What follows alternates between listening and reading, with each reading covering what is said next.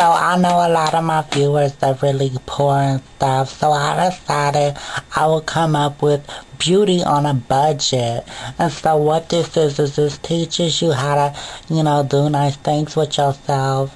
Uh, and uh, you know on a cheap budget and stuff okay so today what we're gonna learn is how to do your hair with chip clips and what that is is like these little clips that you clip with your uh, chip bags and stuff and so it's cute and stuff.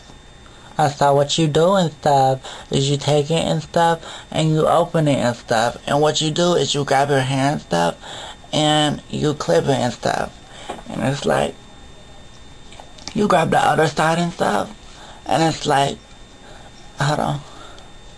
And it's like chip clip piggy tails y'all and stuff.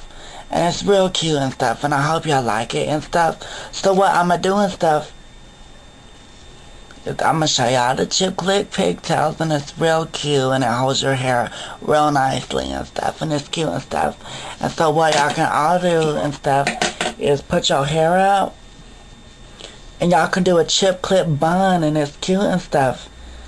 Let me clip it and stuff and it's like let little pieces hang down and stuff and it's cute and stuff. Y'all know we ain't with that fancy stuff.